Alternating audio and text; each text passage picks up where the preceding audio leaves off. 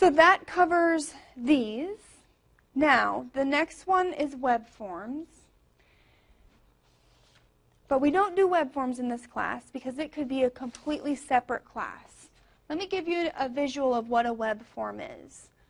How would I uh, go and view all of the list of web forms from this screen that I'm on right now?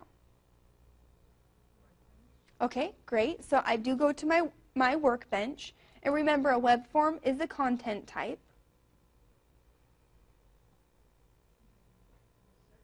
Yep.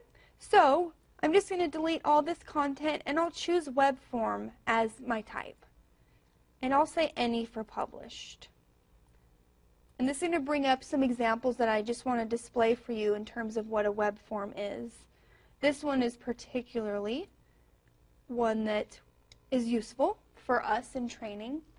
So this is what a web form is. It allows users to enter in information on a web form with fields, submit it, and it's received by whoever is listed on the email for the submission. There are different types of fields that you can use that aren't displayed here. Radio buttons, um, the drop down is listed. You have comment boxes. So in the guide, because this could be a totally different class, we have all of those fields explained. Every definition that you go through in, in the content page itself for a web form is going to be in the guide. I would say maybe a quarter of this guide is the web form section. So we don't go through that because the class is already long enough. Um, Tina, did you want to add anything about web forms? She's a really good resource, so definitely find her at 1700 if you need or have questions on web forms. Yeah, the only thing I'll add is that there's functionality built into the form so that when you submit it, it actually you designate where the form information goes to. So if there's someone in your office that normally gets that particular information, you can designate their email address, it'll go directly to them. And then they have a results tab that they can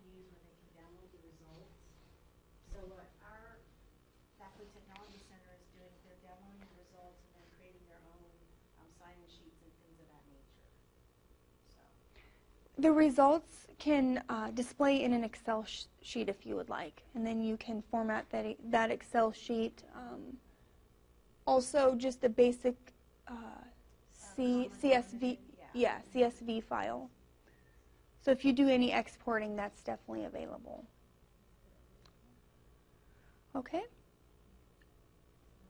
If you have troubles or questions about the web form section, give us a call, but every field in the web form that you use in Web 1 or can use has its definition in the guide. So it's really a comprehensive guide for the web forms.